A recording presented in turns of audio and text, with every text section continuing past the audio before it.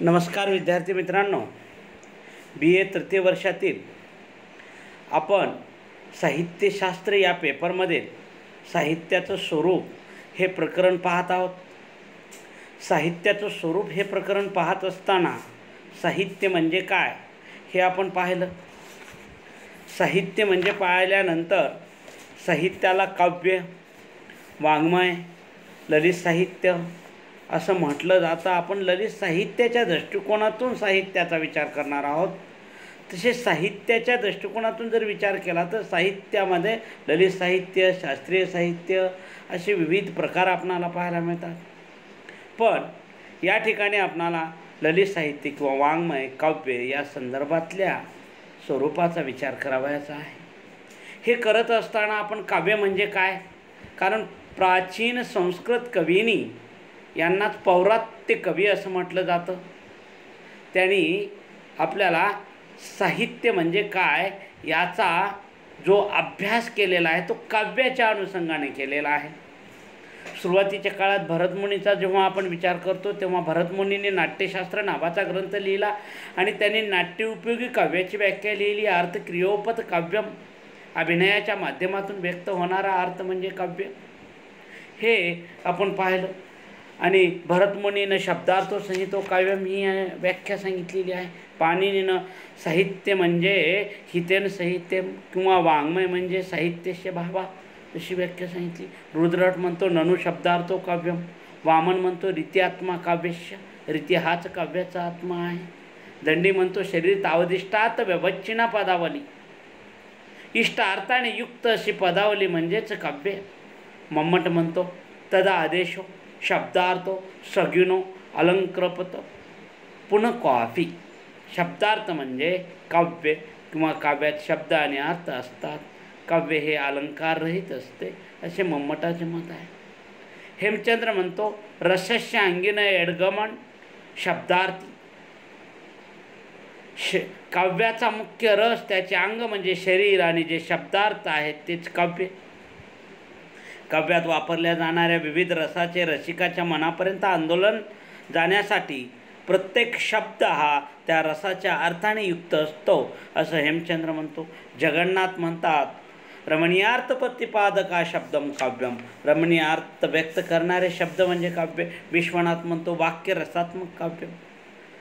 रसयुक्त वाक्य म्हणजेच काव्य. आनंदवर्धन म्हणतात काव्यस्य आत्मा ध्वनी जे ध्वनीने सूचित केलेले असते ते काव्य म्हणजे ध्वनी हाच काव्याचा आत्मा आहे असं आनंदवर्धनांचं मत आहे. इकून इतक्या व्याख्या आपण काव्याच्या पाहिल्यानंतर काव्याची काही विशेष आपणाला जाणवतात काव्याची काही लक्षणे जाणवतात त्या प्रत्येक लक्षणाचा विचार आपण कराव करावयाचा आहे. हे सर्व महत्त्वाचं आपण या ठिकाणी पाहिलेलं आहे. काव्यातील शब्दार्थाच्या ठिकाणी साध्या शब्दार्थातून अपूर्व अशा सौंदर्याचा साक्षात्कार करणारी गुण औचित्य अलंकार वक्रोक्ती रीती ध्वनी व रस ही काव्याची लक्षणे प्रकट होत असताना आपणाला दिसतात. सहृदय रसिकाच्या ठिकाणी सौंदर्य प्रतीत घडवून आणणे हे नाटकाप्रमाणे काव्याचे उद्दिष्ट आहे. शब्दार्थांना रसत्व प्राप्त करून देणाऱ्या कवी व्यापाराचा शोध घेणे हे काव्याचे महत्त्वाचे कार्य आहे. म्हणून रसिकाच्या अंतकरणातील सुप्त स्थायी भाव कवी व्यापाराने जागृत होऊन सावध बनतात. रसिकांना आल्हाद देतात. आणि रसप्रचित्ती करतात. म्हणून रस हाच काव्याचा आत्मा आहे.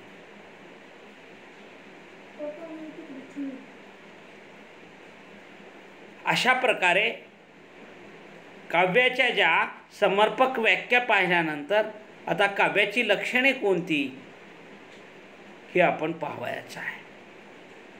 पहिलं लक्षण जर पाहिलं तर काव्याचं पहिलं लक्षण आहे अलंकार.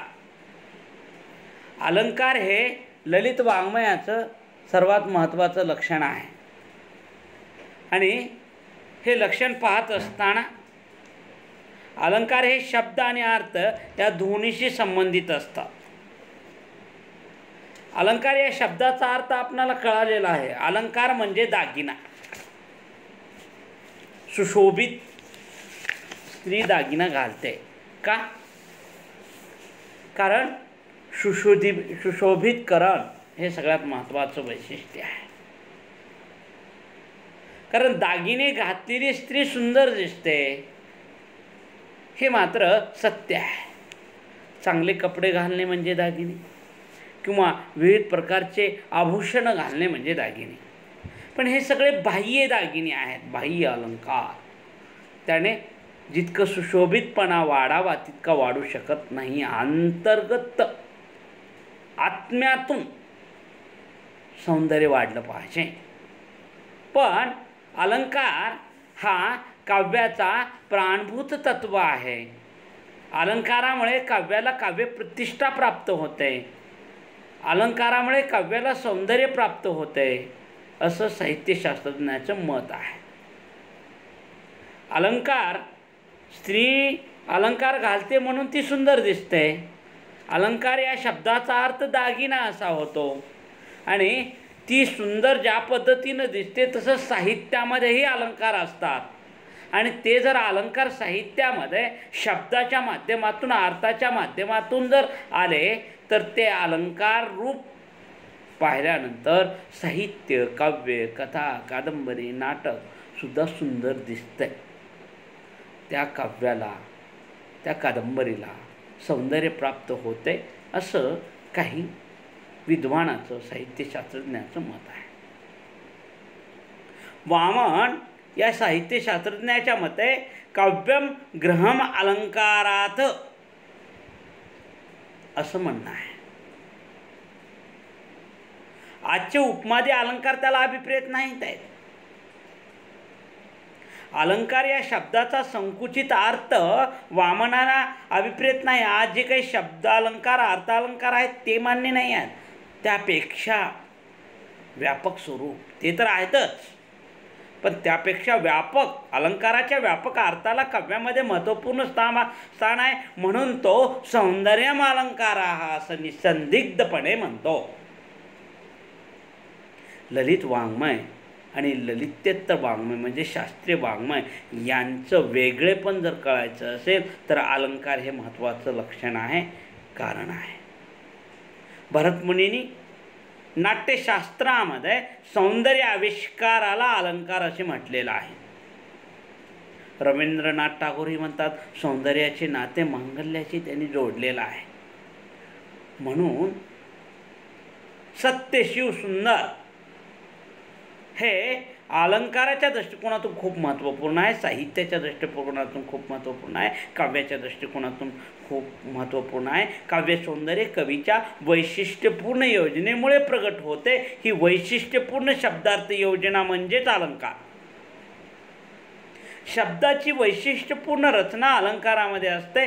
काव्य त्या दृष्टिकोनातून खूप महत्त्वाचं असतं. प्रियेचे मुख सुंदर आहे. असं साधं वाक्य जर म्हणत असताना आपण जर अलंकार रूपानं असं म्हणू कोणता मानू चंद्रमा भोवरीचा की नबीचा असं जर म्हटलं तर मूळच्या साध्या विधानाला रमणीयता प्राप्त होते. ही वैशिष्ट्यपूर्ण शब्दार्थ योजना म्हणजेच कवी व्यापार. याला वक्रोक्ती असंही म्हटलं जातं. भामानंतर कुंतक याने त्या तत्वाला वक्रोक्ती असं म्हटलेलं आहे. अलंकाराचा वापरच भामनी केला. कवीची वाणी सरळ प्रगट न होता तिला अपर्यायप्रमाणे विदग्ध रूप प्राप्त होतं विदग्ध रूप प्राप्त होतं. कवीची अनुभूती ही द्विधात्मक असते असं मराडेकर म्हणतात. हेच त्याचं रहस्य आहे. द्विपदात्मक ही कवीची वाणी म्हणजे कोणत्याही वस्तूचे वर्णन प्रतिमानाच्या भाषेमध्ये आपण करत असतो. उदाहरणामध्ये बालकवीची फुलराणी कविता आपण घेऊ. फुलराणी कवितेमध्ये बालकवी काय सांगतात? एका फुलाचं रविकिरणाशी असलेलं प्रेम. आणि ही फुलराणी रविकिरणाशी विवाहबद्ध होत असतानाचं चित्रण ही कविता जेव्हा आपण वाचक रसिक सगळे अभ्यासतो वाचतो तेव्हा मात्र आपण सुद्धा फुलराणी आणि रविकिरणाचं लग्न लावण्यासाठी अक्षदा देऊन सज्ज होतो. फुलराणी आणि रविकिरण हे सजीव आहेत का? सजीव जरी असले तरी ते मानवासारखे आहेत का? ते निसर्गातला एक घटक आहे. पण फुलराणीला स्त्री जा कल्पून रविकिरणाला पुरुष कर्पूर या दोघाचं सुंदर विवाह वर्णन बालकवी आपल्या कवी मनाने करतो अलंकार रूपाने करतो. ती कविता अशा पद्धतीची आहे. हिरवे हिरवे गार गालीचे हरित तृणाच्या मखमालीचे त्या सुंदर मखमालीवरती फुलराणीही खेळत. घोड निळ्या वातावरणात आवाज्य म्हणे होती डोलत प्रणय चंचला त्या भ्रोलीला अवगत नव्हत्या कुमार आईच्या मांडीवर बसूनी झोके घ्यावे गावे गाणे हे तिचं काम आहे. फुलराणी म्हणजे काय? हिरव्या हिरव्या गार गालिच्यामध्ये कारण सगळीकडं असं निसर्गरम्य ठिकाण आहे बाग आहे बगीचा आहे सगळीकडे हिरवगार आहे. जसं काही गालिच्याच आतरलेला आहे बागेमध्ये इतकं सुंदर वातावरण आहे. हरितृण म्हणजे हिरवं गवत मखमालीसारखं त्या ठिकाणी आहे. त्या सुंदर मखमालीवर हे फुलराणी फुलराणी या ठिकाणी खेळत असताना आपणाला पाहायला मिळते. आईच्या मांडीवर बसून वारा आला की हलत आहे डुलत आहे गाणी गात आहे झुलत आहे हे सगळं चित्रण. गोड निळ्या वातावरणामध्ये हे सगळं आवाज्य म्हणं डोलत असताना आपणाला पाहायला मिळतात. पण चंचला त्या ब्रोलीला अवगत नव्हत्या. लहान वय आहे. फुलराणीचं सुरुवातीला बालपण दाखवलेलं आहे नंतर कुमारपण दाखवलेलं आहे आणि त्यानंतर तारुण्य वयात आल्यानंतर तिचा प्रेम रविकिरणाशी झालेला आहे आणि त्या रविकिरणाशी प्रेम झाल्यानंतर तिचा विवाह व्यक्त करत असताना फुल फुलराणीच्या या कवितेमध्ये म्हणजे चित्रण करणं करण्याचा प्रयत्न या ठिकाणी केलेला आहे. कारण आईच्या मांडेवर बसून झोके घ्यावे गावी गाणी अशा पद्धतीने फुलं हळूच वारा येतो आणि चुंबन म्हणे फुलराणीला छानी माझी सोनुकली ती कुणाकडे ग पाहत होती? वाराच बघतो. तो रविकर का? गोजीरवाना आवडला मुचाराणीना लाज लाजली या वचनानी. साधी भोळी ती फुलराणी. म्हणजे तिचं लाजणं म्हणजे वारा येतो चुंबून काय म्हणतो कुठं पाहतायस फुलराणीला तो म्हणतो आमची शानी छुनुकली कुणाकडं पाहत तर तोच बघतो वा रविकिरणाकडं पाहत आहे का? अरे रे रे आमच्या आवडला का फुलराणीला रविकिरण? तर ती लाजते. लाजणी हा स्त्रीचा धर्म आहे आणि त्यातून तिच्या मनातलं गुपित समजत असतं आणि ती लाजते. याचा अर्थ नक्कीपणे रविकिरण तिला आवडलेला आहे. हे आवडणं हे लाजणं भावणं अलंकाराच्या भाषेमध्ये कवी सुंदर पद्धतीने चित्रित करतो. इतकंच नाही आहे की आवडल्यानंतर सगळं मंडप थाटलेला आहे. कारण लग्नाची वांग निश्चय करायला मारुतराणा चाललेला आहे. मारुतराणा पक्षी हा वांग निश्चय करायला चाललेला आहे. सगळ्या निसर्गाच्या ठिकाणी पत्रिका देत हिंडत आहे. चला चला चला चला चला. लग्नाला चला असं तो सगळीकडे सांगत आहे. प्रत्येकजण विचारत आहे. वारा विचारत आहे. धबधबा विचारत आहे. पाणी विचारत आहे. पक्षी विचारत आहेत. मोर विचारत आहेत. झाडं विचारत आहे कुणाच्या लग्नाला जायचं आहे बाबा? प्रत्येकजण. तो म्हणतो हे कोणी काय विचारतात? हे थाटाचे लग्न कुणाचे? तो म्हणतो साध्या भोळ्या फुलराणीची. नवरदेव हा सोनेरी रविकर नवरी ही फुलराणी सुंदर. म्हणजे कुणाचं लग्न आहे तो सांगतो की सुंदर रवी आणि फुलराणीचं लग्न आहे आणि त्या लग्नासाठी आपण सगळ्यांनी यावं सगळे येतात. पशु पक्षी प्राणी जंगलातले वारा वादळ त्याच्यानंतर धबधबा सगळेजण लग्नासाठी. मग लग्नासाठी मंडप लागतो. कारण मग तेजोमय मंडप केला लख पांढरा दहा दिशेला. दहाव्या दिशेनं हे आकाश तेजोमय मंडप म्हणजे हा लग्नाचा मंडप आहे आणि सगळे मंडपाला येतात. मारुतराणा तानावर ताना घेतो. मंगलाष्टिका मारुतराणा म्हणायला लागलेला आहे. मंगलाष्टिका आता सावध सावधान म्हणण्यापेक्षा सावध पक्षी सावध बारे असं कवी त्या ठिकाणी म्हणतो. आणि लग्न लागल्यानंतर धबधबा आपला बेंडबाजा वाजवत बसत असतो. आणि रविकरणमध्ये दवबिंदू असतो. दवबिंदू म्हणजे आंतरपाठ असं कवीने सांगितलेलं आहे. खूप सुंदर वर्णन कवितेमध्ये केलेलं आहे. आणि शेवटी लग्न लागते आंतरपाठ मिटतो फुलराणी रविकिरणाची भेट होते. अशा पद्धतीनं लग्न लागतं. सगळ्या गोष्टी त्या ठिकाणी कवीनं खूप सुं सुंदर पद्धतीनं वर्णन केलेलं आहे. मला एवढंच सांगायचं आहे की अलंकार हे काव्याचं प्राणभूत तत्व आहे. कवीनं अलंकार रूपातून बालकवीनं फुलराणी नावाची कविता लिहिलेली आहे. कारण एका निसर्गाला सजीवाचं रूप देऊन त्यांचं लग्न लावून देणं आणि सगळे रसिक मंगलाष्टिका म्हणत असताना किंवा अक्षदा घेऊन तयार राहणं लग्न लावणं ही प्रक्रिया. म्हणजे राजशेखर याने कवीच्या या वैशिष्ट्यपूर्ण शब्दार्थ योजनेला प्रतिभास निबंधन असं म्हटलेलं आहे. प्रतिभास म्हणजे कवीची चमत्कृतीपूर्ण प्रतीती होय. वस्तूचे जसेच्या तसे वर्णन करणे हे कवीचं कार्य नाही आहे ते शास्त्राचं कार्य आहे. वस्तू निबंधन असं त्याला म्हटलं जातं. पण प्रतिभास निबंधन म्हणजे कवीची कल्पना कवीची प्रतिभा.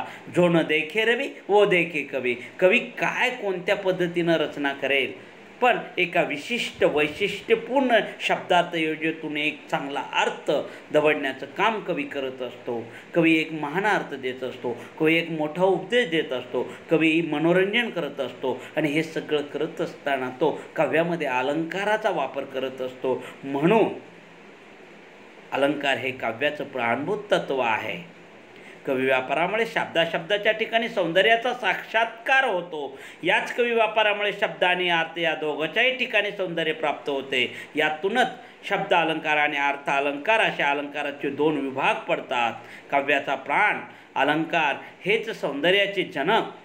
या दृष्टीने काव्याचं प्राणभूत तत्व आहे असं म्हटलं जातं. आणि नाट्यशास्त्र या ग्रंथामध्ये त्या अनुषंगाने आपणाला पाहायला मिळतं. काही शास्त्रशास्त्र काही शा शास्त्रज्ञाने.